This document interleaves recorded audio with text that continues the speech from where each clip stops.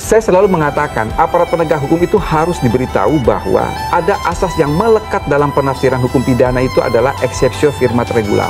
Hmm. Ketika aparat penegak hukum menangani suatu perkara dan itu multitafsir, maka penafsiran itu harus menguntungkan orang yang terlapor, tersangka, tersangka terdakwa atau terpidana. Itu yang harus dipegang. Itu prinsip dasarnya prinsip yang harus dipegang oleh uh, penegak hukum.